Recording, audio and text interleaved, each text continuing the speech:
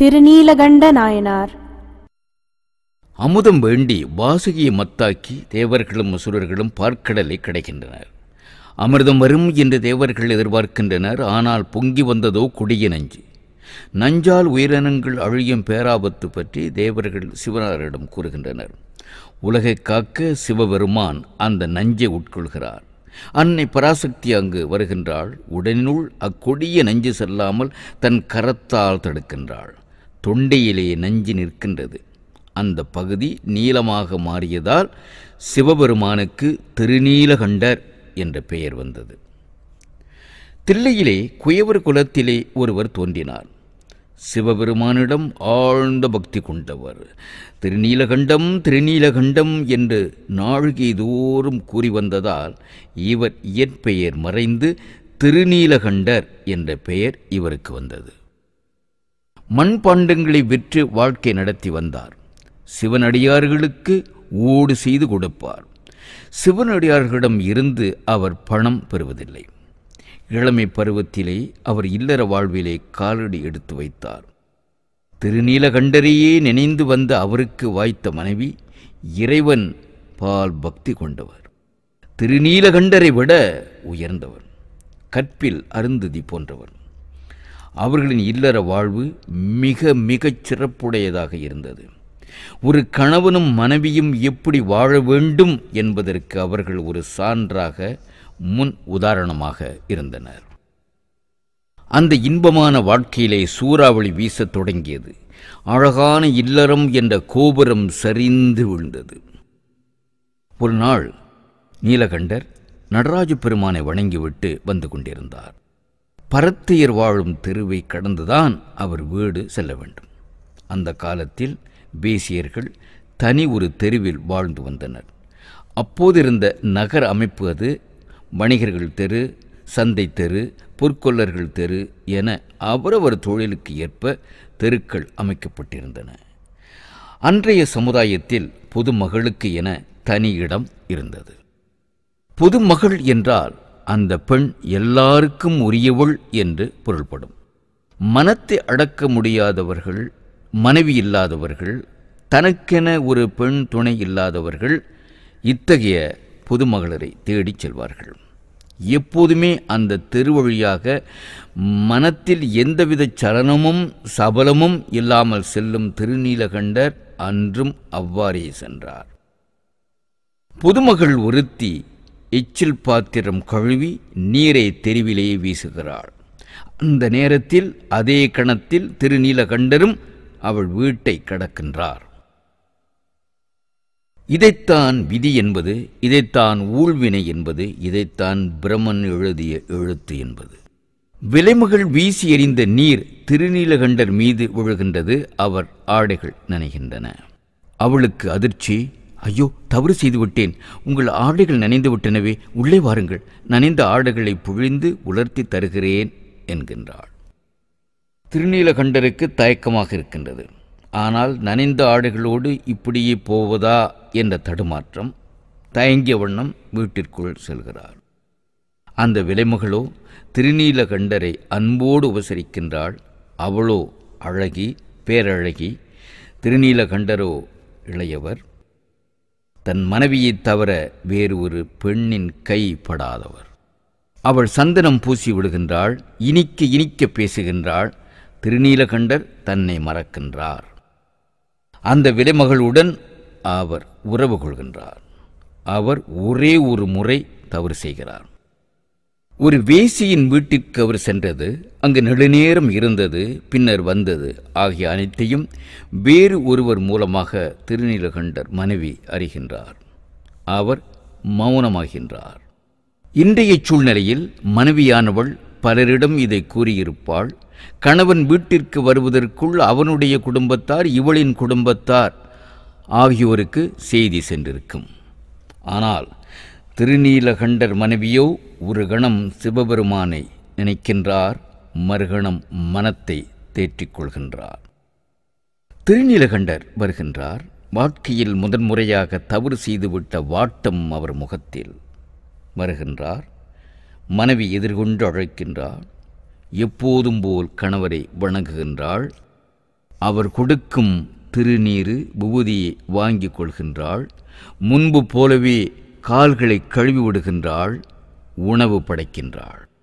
தான் வேசி சென்று இன்பம் கண்டது தன் மனைவிக்கு தெரியும் என்பது திருநீலகண்டருக்கு தெரியாது. எப்போதும் போலவே இருக்கின்றாளே என்று திருநீலகண்டர் பேசாமல் இருந்திருக்கலாம் ஆனால் அவர் அப்படி செய்யவில்லை. நாம் என்ன செய்வோம்?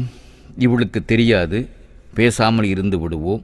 அப்படியே தெரிந்து கொண்டு கேட்டால் எவண்டி சொன்னான்? அந்த ஆளை இங்கே கூட்டிட்டு வா என்று ஒரு போடு போடுவோம். ஆனால் திருநீலகண்டரோ மனைவியை அழைத்தார் நான் நான் தவறு செய்துவிட்டேன் என்றார். தெரியும் இது மனைவியின் மறுமொழி. என்னை என்னை மன்னித்து விடு என்றார் திருநீலகண்டர். அவர் மனைவி மௌனமாக இருக்கின்றாள். மனைவி தன்னை மன்னித்து விட்டாள். ஊடல் தீர்ந்தது என்று திருநீலகண்டர் நினைத்தார். மனைவியின் அருகில் செல்கின்றார் மனைவியை ஆசையோடு அணைக்க முயல்கிறார். விலகி நிற்கிறாள் அவள். எம்மை தீண்டாதீர் திருநீலகண்டத்தின் மீது ஆணை! என்று அவள் கூறுகிறாள். ஆண்டவன் மீது ஆணையாக தம்மை தீண்டக்கூடாது! என்று கூறுகிறாள். திடுக்கிட்டு நின்றார் திருநீலகண்டர். பின் மௌனமானார். அவர் உள்ளம் உறுதி பெற்றது.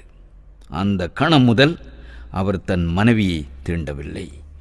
எம்மை என்று அவர் மனைவி எல்லா பெண்களையும் ஒப்பிட்டு கூறியதால் திருநீலகண்டர் மனத்தாலும் எந்த ஒரு பெண்ணையும் தீண்டவில்லை.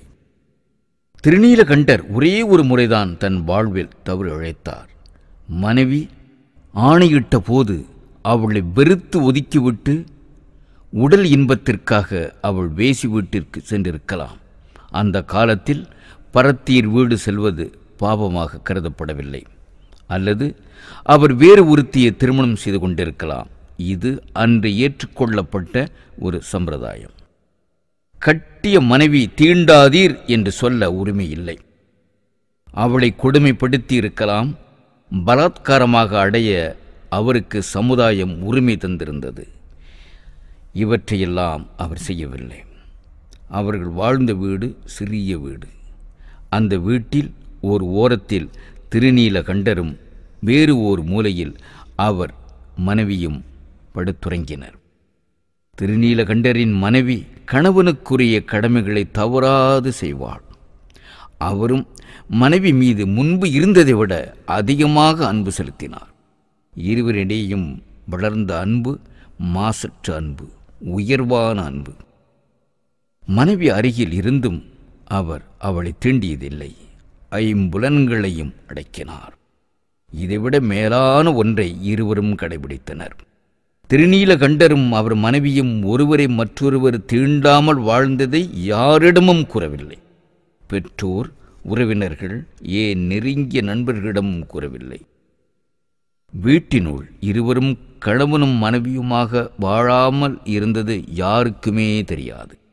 மனைவியிடம் இருக்கும் குறைகளை மற்றவர்களிடம் கூறும் நாம் கணவனிடம் காணப்படும் குறைகளை மற்றவர்களிடம் கூறும் நாம் திருநீலகண்டரும் அவர் மனைவியும் தங்களது வாழ்க்கையில் ஏற்பட்ட துன்பத்தை இறைவனிடம் மட்டும் கூறி ரகசியமாக வைத்திருந்ததை எண்ணி பார்க்க வேண்டும். திருநீலகண்டர் போன்ற ஒருவரை எங்கும் எந்த நூலிலும் காண முடியாது. ராமபிரான் சீதா தேவியை தவிர வேறு ஒரு பெண்ணை மனத்தாலும் நினைக்கவில்லை. ஆனால் திருநீலகண்டரோ தன் மனைவியையே மனத்தாலும் நினைக்கவில்லை. பல ஆண்டுகள் ஓடின. கிழமை பருவம் நீங்கியது. கிழமை சுகத்தை அனுபவிக்காமலேயே வாழ்ந்தனர். அது மிகவும் கொடுமையான வாழ்க்கை. இன்று நாம் நினைத்து கூட பார்க்க முடியாத வாழ்க்கை. எனக்கு தெரிந்தவரை இந்த இருபதாம் நூற்றாண்டில் மனைவி இருந்தும் பிரம்மச்சரியத்தை கடைபிடித்து வாழ்ந்தவர் மகாத்மா காந்தி ஒருவரே. இல்லற வாழ்க்கை மேற்கொள்ளாமல் ஞானிகளாக இருப்போரே இருந்தோரை நான் இங்கே குறிப்பிடவில்லை. திருநீலகண்டரும் அவர் மனைவியும் முதுமை அடைந்தனர். எம்பெருமான் சிவபெருமான் திருநீலகண்டரின் ஒழுக்கத்தையும் அவர் பக்தியையும் கடைபிடிக்கும் கொள்கையையும் காமத்தை வென்ற தன்மையையும் கண்டார். அந்த இருவருக்கும் அனுக்கிரகம் புரிய திருவுள்ளம் கொண்டார். சிவபெருமான் அழிக்கும் தெய்வம் பிரம்மா படைக்கும் தெய்வம். திருமால் காக்கும் தெய்வம். இங்கே சிவபெருமானை அழிக்கும் தெய்வமாக அதாவது டிஸ்ட்ராயராக நான் காண விரும்பவில்லை. அவர் அழிக்கும் தெய்வம். தமிழில் அழிப்பவர் டிஸ்ட்ராயர் அழிப்பவர் ப்ரொவைடர். சிவபெருமான் பாசமுள்ளவர் இந்த கம்பஷனேட். அவர் அழிக்கும் தெய்வம் எதை அழிப்பார்? நம் குரோதங்களை அழிப்பவர் நம்மிடையே இருக்கும் மாசுகளை அழிப்பவர் தீமைகளை அழிப்பவர். காதலாகி கசிந்துருகி கண்ணீர் மல்கி அவரை தொழுகின்ற போது தீமைகள் அகலும் உள்ளம் அன்பு மயமாகும் சிவம் என்றாலே அன்பு என்று பொருள் அமைதி என்று பொருள். சிவபெருமான் வயோதிக சிவனடியாராக திருநீலகண்டரிடம் வருகின்றார். ஒரு திருவோட்டை அவரிடம் தருகின்றார். அப்பா நீ பெரிய சிவபக்தன். நம்பிக்கையானவன். அதனால் இந்த ஓட்டை உன்னிடம் தருகின்றேன். இது சாதாரணமான ஓடு அல்ல. பொன்னை விட மணியை விட சிறந்தது. பத்திரமாக வைத்திரு. பிறகு வந்து நான் பெற்றுக்கொள்கிறேன் என்று கூறிவிட்டு ஓட்டை தந்துவிட்டு செல்கின்றார். திருநீலகண்டர் பத்திரமான பாதுகாப்பான ஓர் இடத்தில் ஓட்டை வைத்தார். மேலும் சில ஆண்டுகள் ஓடின. திருநீலகண்டரும் அவர் மனைவியும் முதுமையால் நடக்க முடியாத நிலைமை அடைகின்றனர்.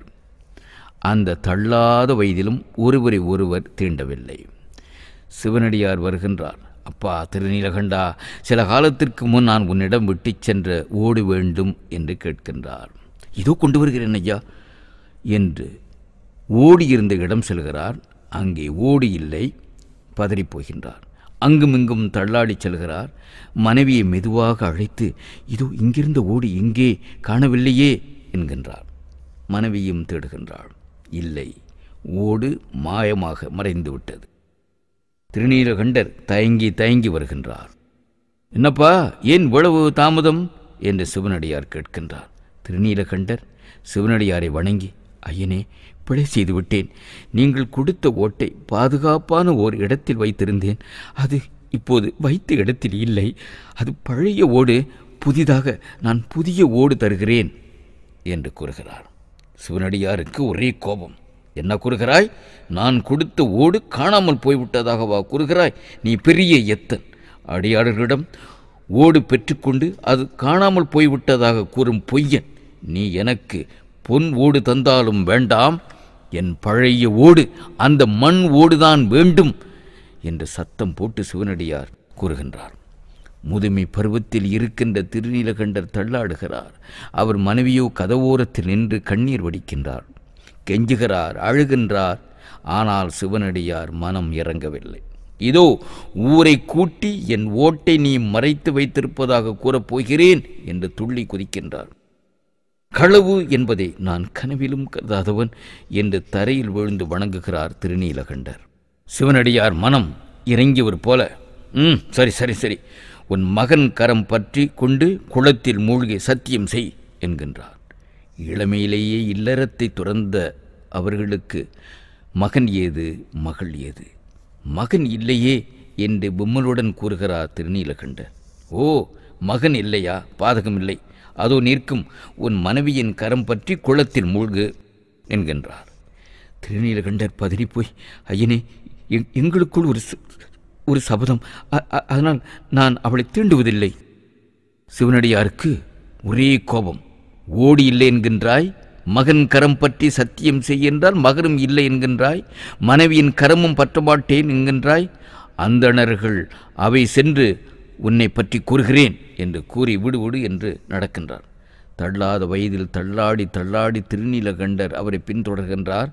அவர் மனைவியும் இது என்ன சோதனை? என்று உடல் கூனி நடக்க முடியாமல் நடந்து செல்கின்றார். பல பெரியவர்கள் கூடியிருக்கின்றனர். அவர்களிடம் சிவனடியார் நடந்தனவற்றை கூறுகிறார். ஓடு கொடுத்ததையும் பின் வந்து கேட்டபோது அது காணாமல் போய்விட்டதாக கூறுவதாகவும் மனைவியின் கரம் பற்றி குளத்தில் மூழ்கும்படி கேட்பதற்கு ஏதோ சபதம் அது இது என்று கூறுவதாகவும் கூறுகிறார். அங்கிருந்த பெரியவர்கள் திருநீலகண்டரிடம் கேட்க அவர் அப்போதும் உண்மை கூறாமல் தன் கையில் இருந்த ஒரு தண்டை தன் மனைவியின் பால் நீட்ட அவரும் தண்டின் மறுமுனையை பற்றி குளத்தில் மூழ்க முயல்கின்றனர். சிவனடியார் கலகலவென்று சிரித்து என்ன இது? கையை பற்றி குளத்தில் மூழ்கும்படி கேட்டால் தண்டை பற்றி கொண்டு குளத்தில் மூழ்க நினைக்கின்றீர்களே? என்கின்றார். அப்போது வேறு வழியின்றி திருநீலகண்டர் நடந்தனவற்றை கூறினார். ஏறத்தாழ ஐம்பது ஆண்டுகளாக தங்களுக்குள் வைத்திருந்த ரகசியத்தை அவர் கூறினார். அனைவரும் வியப்படைந்தனர். திருநீலகண்டரின் மாண்பை உணர்ந்தனர். அவர் மனைவியின் பண்பை அறிந்தனர். அடடே இது முதலில் சொல்லியிருந்தால் இவ்வளவு பேசியிருக்க மாட்டேனே என்று சிவனடியார் புன்முறுவல் பூத்தார். தன் பக்தனின் சிறப்பை உலகுக்கு காட்டவே சிவபெருமான் அந்த நாடகம் ஆடினார். சரி சரி தண்டை பற்றி கொண்டு மூழ்கி எழுங்கள் என்கின்றார். தண்டை பற்றி கொண்டு இருவரும் மூழ்கினர். தண்டு மறைந்தது இருவரும் கரம்பற்று எழுந்தனர். இருவரும் பழைய இளமையுடன் குளம்பிட்டு வந்தனர்.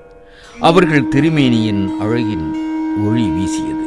கண்டவர் வியந்தனர் வானவர் மலர் தூவினர். சிவனடியார் மறைந்தார் அவர் எங்கே என்று அனைவரும் மயங்கினர்.